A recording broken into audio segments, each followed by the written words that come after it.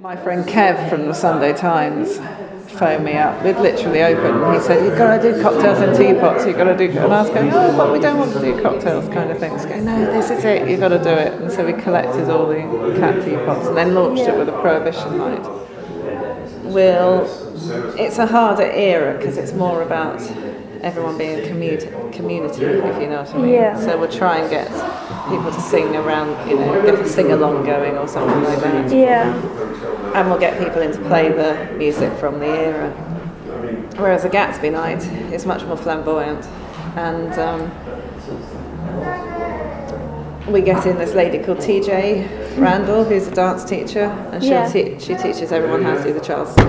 It's a strange room. I think it's always been a function room, from what I understand.